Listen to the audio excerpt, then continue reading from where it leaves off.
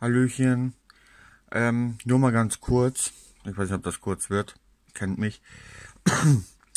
äh, ihr kennt ja das Ding hier. Das ist ja dieses IMAX B6, dieses Klon-Ding. Wo ich ja mal sagte, vielleicht sponsert mir ja einer mal ein neues, weil ich bräuchte mal neues. Hat ja keiner getan, ist ja auch nicht so schlimm. Ähm, packe ich das mal weg und hole mal was. Das ist jetzt mein Ersatz. Ähm, könnt ihr hier sehen, V-Charge Field 60 von Voltkraft. Der hier, ja, eben war los, ist egal. Ist nur ein Aufkleber. Steht auch drauf, Voltkraft, Input, Output, äh, Charging Power 60 Watt, Discharge Power 5 Watt. Das Ding funktioniert. Ich glaube, ihr habt gerade schon was gesehen. Batterieanschluss ist ein XT60. Der Balancing-Anschluss ist hier irgendein eine Art Stiftleiste. Power Input ist Hohlstecker, kennt man ja, Temperaturanschluss und hier steht PC-Link. So wie ich das aber verstanden habe, ist dieser PC-Link ähm, USB, was ich mir nicht vorstellen kann. Höchstens RXTX. Im Lieferumfang ist eigentlich nichts Großartiges bei. Ich zeige euch mal kurz, wie, wie das ankam. Ich habe schon was fertig gelötet für mich, damit ich das schon mal nutzen kann und testen kann. Äh, ich erkläre euch das aber gleich nochmal. So, bin ich wieder da. Geliefert wird das Ding mit dem Hohlstecker aber nicht mit den zwei Stängern dran, sondern in einem durchverbunden mit Krokoklemme dran. Das ist alles. Damit ich da Strom reinkriege. Jetzt habe ich mir noch XT60 Steckerbuchsen besorgt, um das zu nutzen und habe hier ein so ein Ding angelötet. Habe auch für mein Netzteil, für mein Universalnetzteil, da hatte ich ja ähm, auf der Seite die Bananenstecker. Auf der Seite habe ich jetzt ein, die XT60 Stecker oder was es hier ist dran. Und hatte ja diese zwei Klemmen dran. Das habe ich ja auch erst zusammengelötet gehabt, habe ich jetzt steckbar gemacht. Und jetzt habe ich das so gemacht, dass ich an dieser Leitung für mein Universalnetzteil eine so eine Buchse habe. Dann diesen, diese Hohlstecker, dass ich da Strom reinkriege. Oder ich kann auch an das Universalnetzteil wieder Kroko-Klemmen nutzen, weil meine alten, die waren total hinüber. Oder auch, auch, auch das hier, beziehungsweise ich kann die beiden auch hier dran nutzen. Habe ich mir extra so gemacht. Und ich habe schon damit rumgespielt. Ich mache da gleich mal Strom rein. Dann könnt ihr da mal reingucken zeige ich euch mal kurz was. Äh, ist eigentlich Standard äh, Balancing, also äh, Charging, so wie das IMAX P6 ist eigentlich Standard, aber da ist noch ein bisschen was mehr drin. Ne? Zeige ich euch gleich mal. So, nun habe ich das Ding an. Lipo Balance ist klar. Also ich kann hier jetzt erstmal Batterieprogramm Lipo, Lithium Eisen, Lithium Ion und Lithium HV. Lithium HV sind die 3,8 Volt. Die hatte ich bisher nie. Das sind die neuen Akkus, die 3,8 Volt haben und nicht 3,7 Volt. Die haben dann 4,3, 4,4 Volt Endladespannung. Weiß ich jetzt nicht. Ähm, Nickelmetallhydrid ist klar. Nickel-Cadmium. Bleibatterien bis 20 Volt, glaube ich.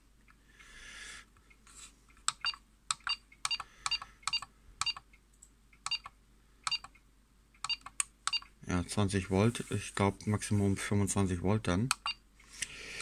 Und ein DJI Mavic Batterie. Das ist irgendwie so ein äh, Video-Equipment oder sowas. Ich weiß es jetzt nicht. Ich habe mal gegoogelt.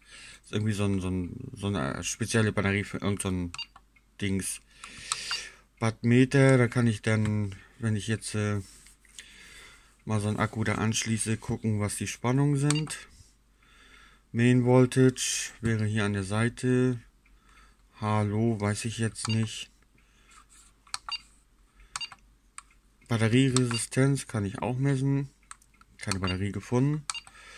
System-Settings ist klar, Input Low 10 Volt für Akku, wenn man da irgendwo einen Akku anschließt. Dann habe ich auf Kapazität Cut-Off auch aus. Temperatur, Temperatur Unit ist klar, externe Temperatur, interne Temperatur. Äh, Reset Time ist klar. Sensitiv, sens also wenn ich jetzt Nickel-Metallhydrid der äh, schaltet kurz ab und guckt, wie weit die Spannung zusammenbricht von dem äh, Akku. Wenn die jetzt um 15 mV abfällt, nur in dem kurzen Moment, ist sie voll. Ich kann es aber auch auf 3, 4 mV, ich lasse mal 4 mV, ich weiß es jetzt nicht. Nickel-Cadmium genauso. Beeper an, Hardware-Version, Software-Version, und all sowas. Aber ich klemme mal ein, ein Akku mal kurz dran und dann zeige ich euch mal den, dass er das auch messen kann. So, ich habe jetzt hier mal einen Akku angeklemmt. Den hatte ich auch schon mal ein bisschen geladen. Der liegt jetzt bei 4 Volt. Kann ich jetzt auch noch mal zeigen. Main Voltage 4 Volt. Batterieresistenz 80 Milliohm.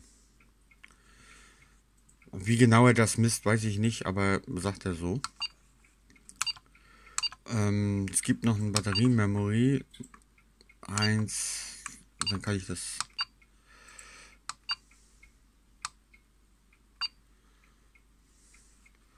ähm,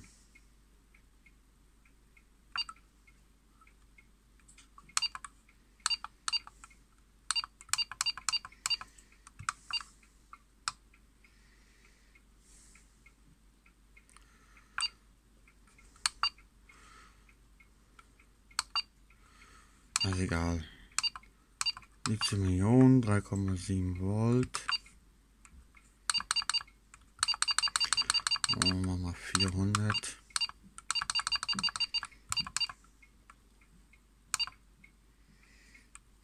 Mhm. Nee. Lithium-Polymer.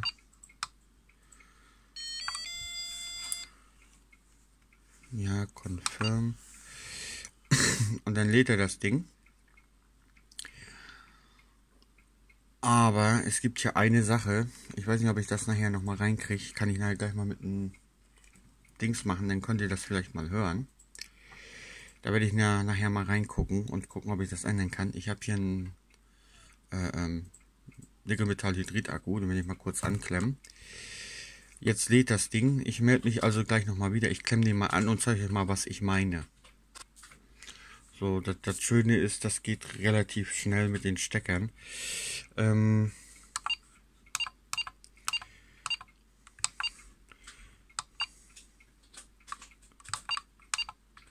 Cycle Charge.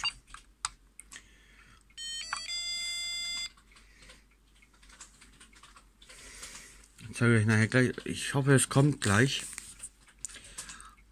Ich hau ihn jetzt mit zweieinhalb Ampere. Mal gucken, ob da was kommt. Im Moment ist das Ding relativ ruhig. Es dauert jetzt leider eine Weile. Oh, das dauert wieder.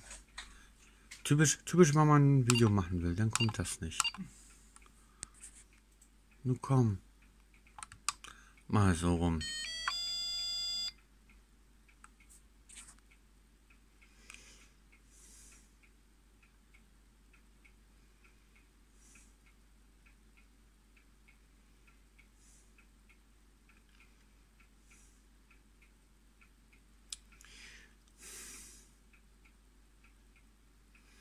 Typisch, wenn man hier ein Video macht und das, das zeigen will. Ich werde das jetzt mal beschleunigen. Und wenn es dann soweit ist, mache ich, mache ich dann nochmal an. Ich glaube, das andere habe ich jetzt rausges rausgetippt, rausgeschnitten. Ähm, das ist bei interner Temperatur 37 Grad. Da müsste jetzt langsam mal anfangen. 38 Grad.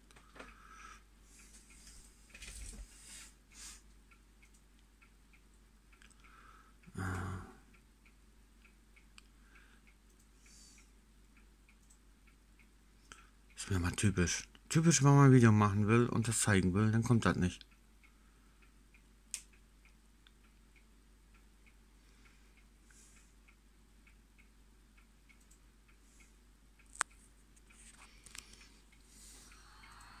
Jetzt.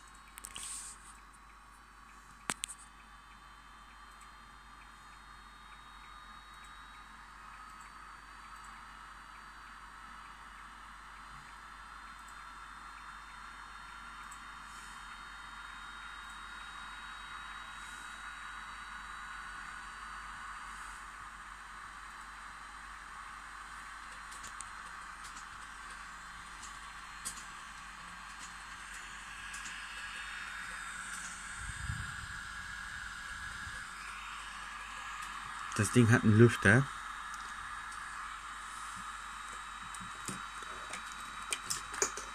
Der ist PWM gesteuert. Der fährt richtig hoch. Ich pack das mal.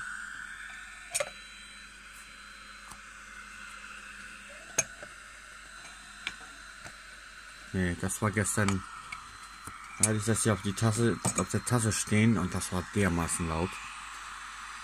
Das ist aber so schon ganz schön laut und nervig. Und der pustet hier raus, so, so wie ich es merke.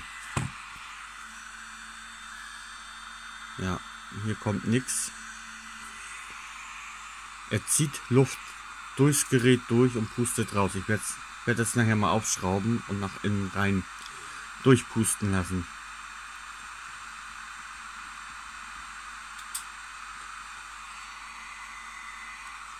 Und der ist ganz schön laut, der Lüfter. So.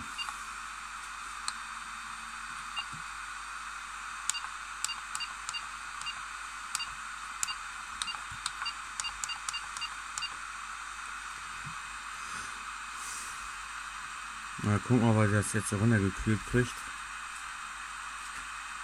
Wir hatten hier ungefähr 25 Grad, sagte er mir ja.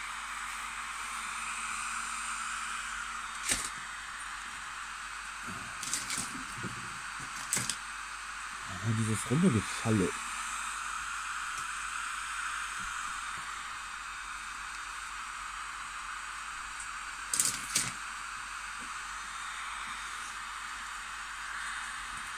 Ich glaube, man sieht es schon, der geht mit der Temperatur so langsam runter.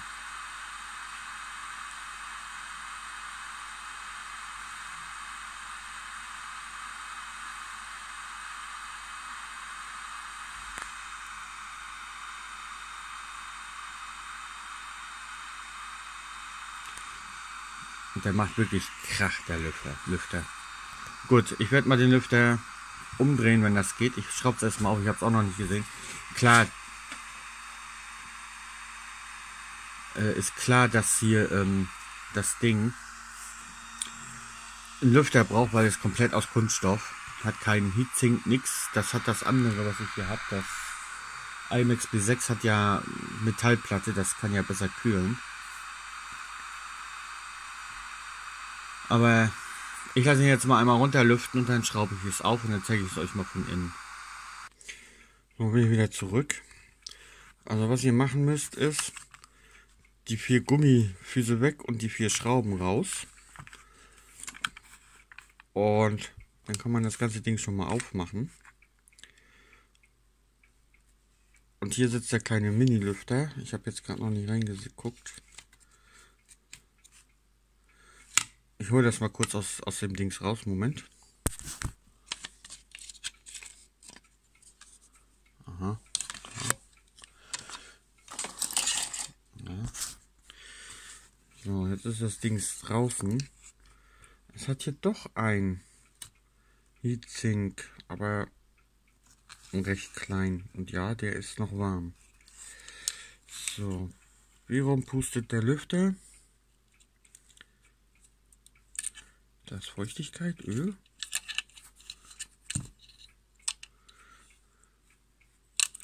Eine Anzeige drauf? Nein. Ähm, müsste ich jetzt noch mal Strom dran machen und gucken. Also es unterscheidet sich hier kaum von dem IMAX B6. Das müsste ähm, Programmiersockel sein. Äh, was haben wir da für ein Chip? Kann man das erkennen? Kann ich nicht sehen. Kann ich selbst mit so nicht sehen.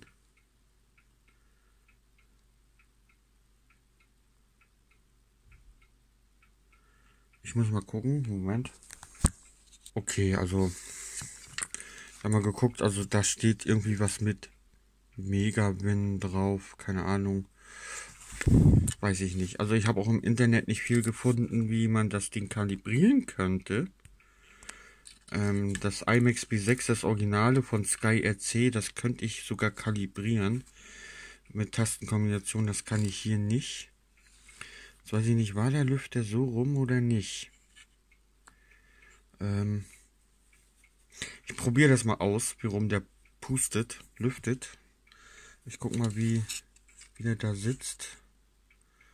Ich guck gleich nochmal nach. Ich melde mich gleich. So. Ähm, wenn ich ihn reinstecke schon mal, den Strom. Ich versuche es mal mit hinzukriegen. Was er denn?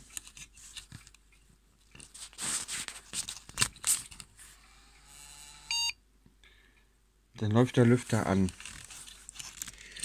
So, dann weiß ich schon mal, dass ich ihn so rum, dass er die Luft unten ran durchpustet. Der war wirklich andersrum. So, äh, ich baue das mal wieder zusammen. Das sollte dann soweit passen. Ich werde dann nochmal den Akku dran hängen, den Nickelmetallhydrid, und mal laden und dann mal gucken, ob er schneller kühlt oder nicht so schnell kühlt, ich muss es ja ausprobieren. Also ich melde mich dann gleich wieder, wenn es soweit ist. So, ich habe jetzt schon mal den Akku dran mit 6 Ampere, lädt er wieder. Jetzt sind wir hier bei 30 Grad. Also muss ich so. Ähm, da schon 22 Sekunden dabei. 31 Grad. Wir gucken mal. Ähm, müsste so bei 38 Grad ungefähr müsste angehen. Eventuell. Aber machen möchten, möchten tue ich es nicht. Den eigentlich auf einen größeren Metall Kühlkörper schrauben, der mehr Metall hat. Dann hm, kühlt er ja besser. So wie ich das gesehen habe, ist da nur ein ähm, MOSFET drauf und zwei Dioden. Oder sowas. So, mal gucken. 37 Grad. 38 Grad.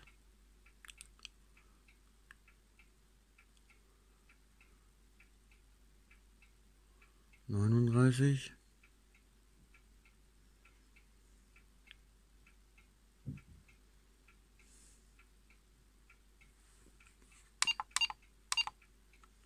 40.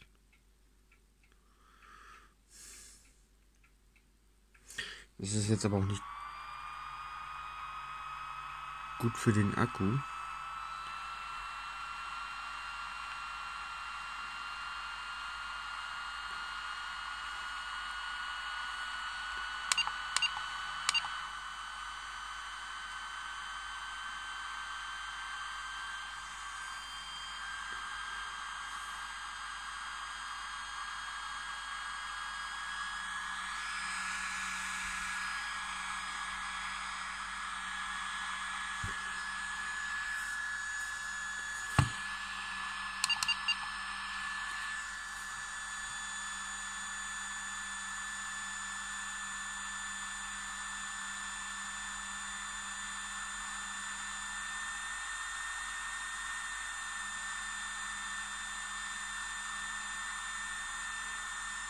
Das ist aber immer noch laut.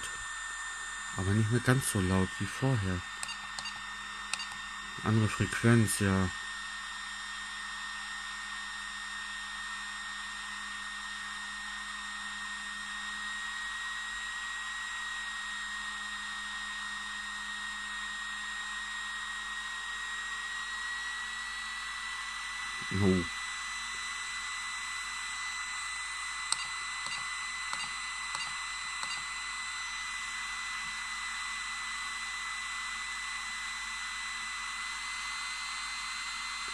Noch schneller.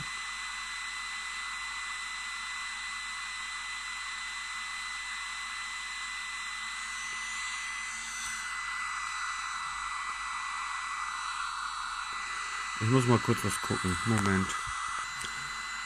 Ähm, also ich habe eben mal geguckt, also die Luft kommt schon ordentlich warm raus.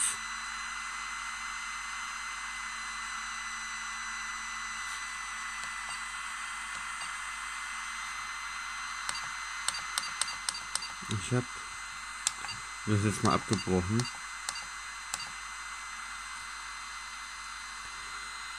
Mal gucken.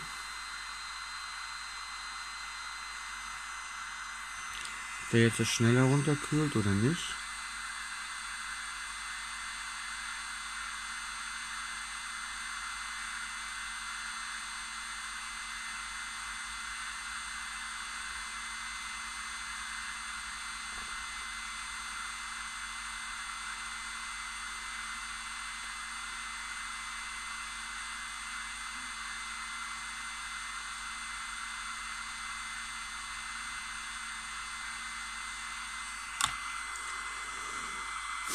Er kühlt zwar schneller, ja nicht schneller runter, aber er kühlt runter, ja.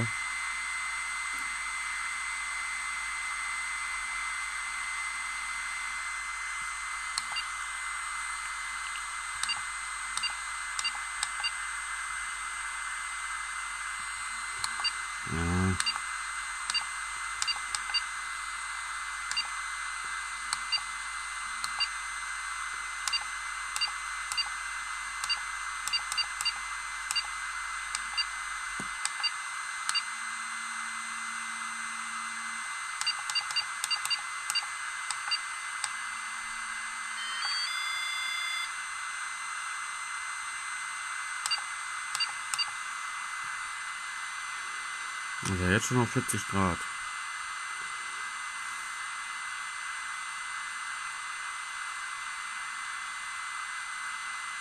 Hm. Ich werde das mal beobachten. Weil der ist jetzt auf eine recht schnelle Umdrehungszahl gesprungen. Also recht schnell geworden, der Lüfter.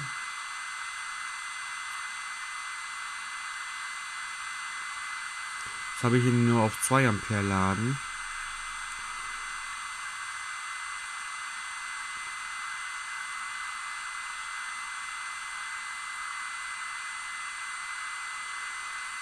Wir wissen aber, dass man jetzt noch weiter runterkühlt oder... Weil er ist da eigentlich immer ausgegangen, kurz. Und dann ist er wieder angegangen nach einer knappen halben Minute oder Minute.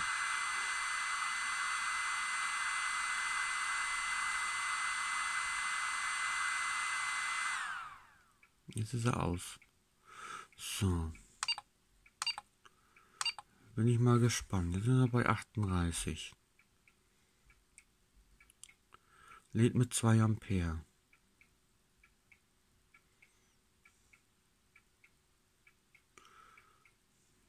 Sonst muss ich da mal wirklich eine Modifikation machen und einen größeren Lüfter unten drunter schrauben oder einen größeren Kühlkörper.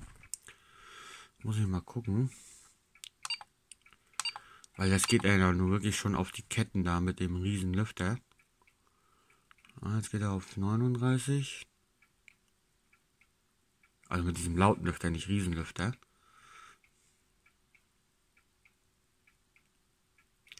Ich habe jetzt aber auch kein Pinout gefunden von dem externen Temperatursensor, von dem äh, PC-Anschluss da. Ich habe keinen, ich habe nicht mal einen Schalt Plan von dem Teil gefunden. Von dem IMAX B6, da gibt es eigentlich so ziemlich alles drüber.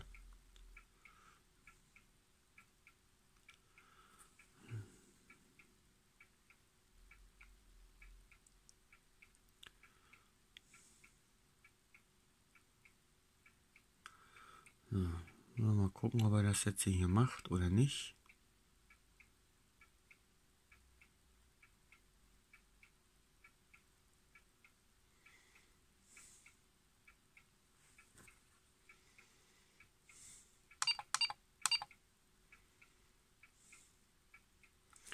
40 Grad. Oh, Handy.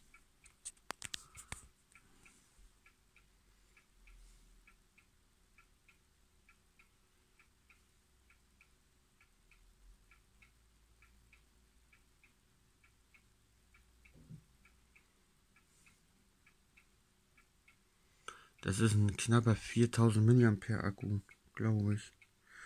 Was steht hier? 3500. Oh, schon drei Minuten dabei.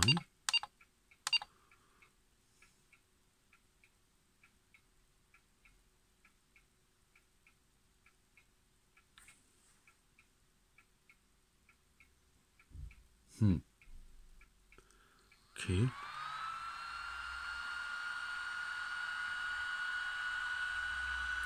Jetzt ist er an.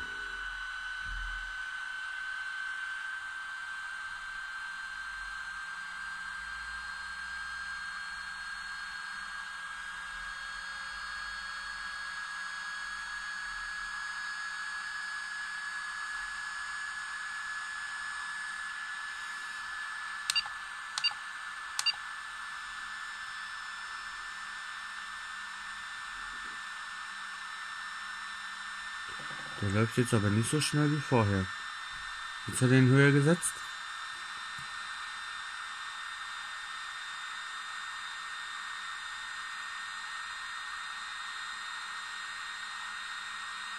Ich glaube jetzt auch noch mal so ein bisschen. Jetzt auch noch mal. Ah, er fährt ihn hoch.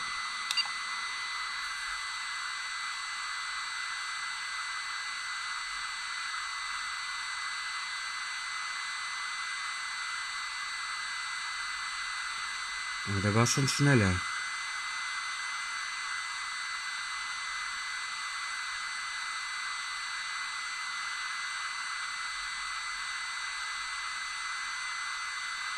Laut ist er trotzdem.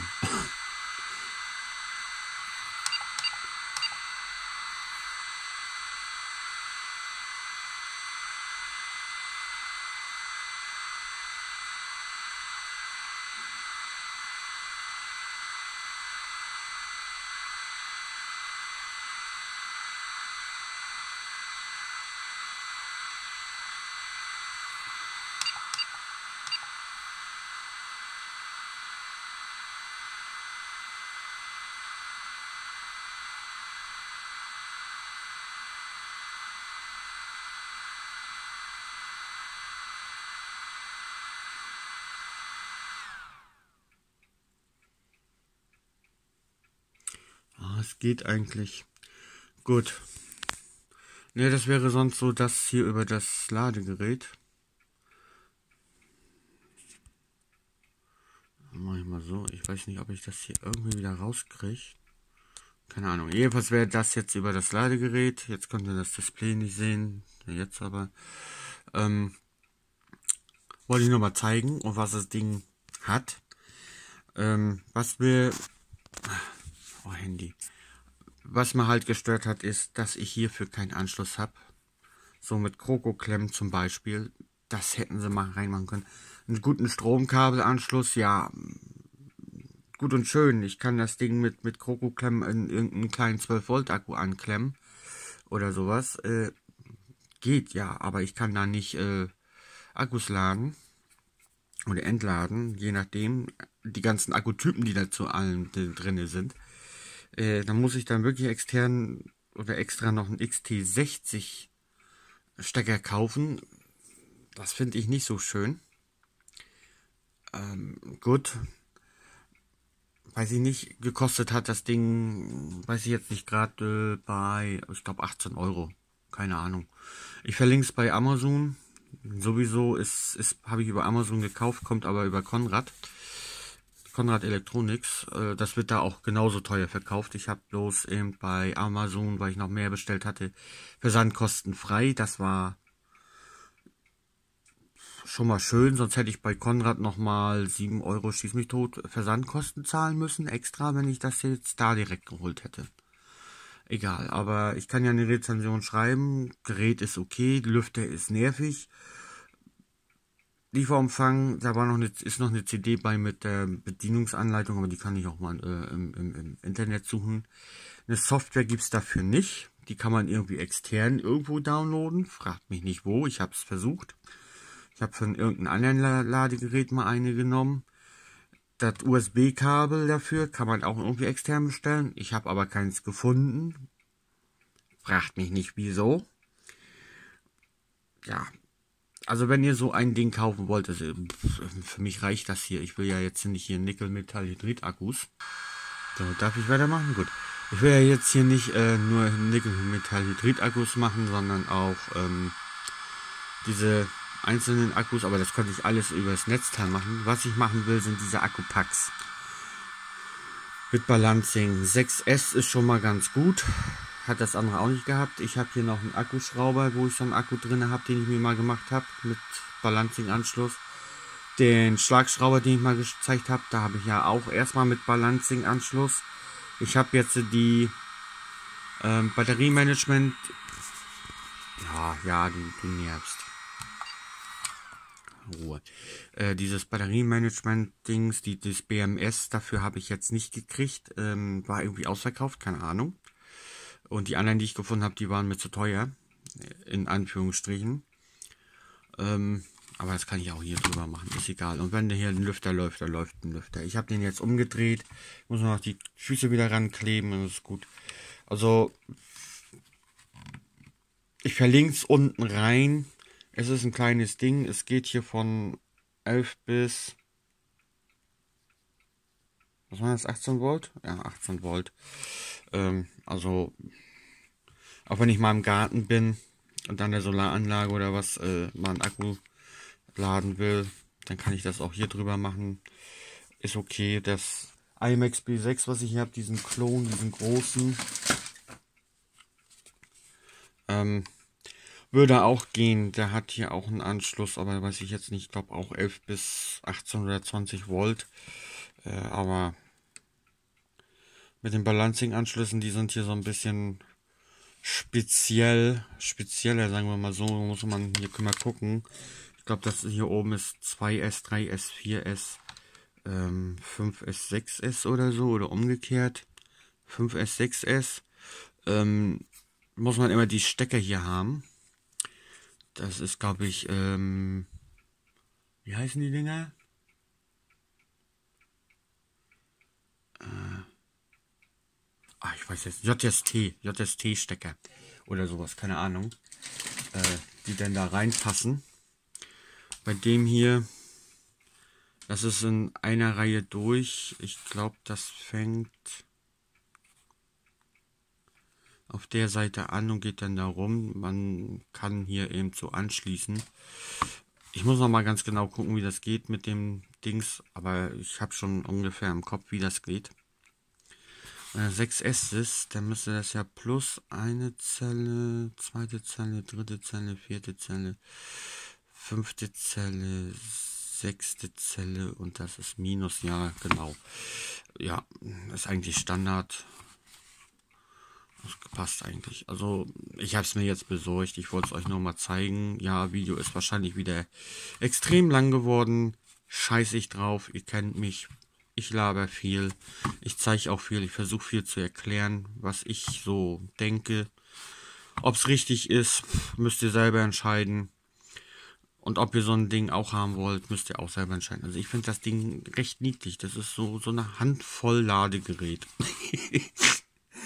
Okay, ich danke fürs Zugucken und bis zum nächsten Mal. Und wenn derjenige für seine Kiste noch zugucken sollte, ich mache das jetzt demnächst fertig. Ich hatte keine Zeit gehabt. So viel Stress im Moment mit Arbeit. Morgens, mittags, abends.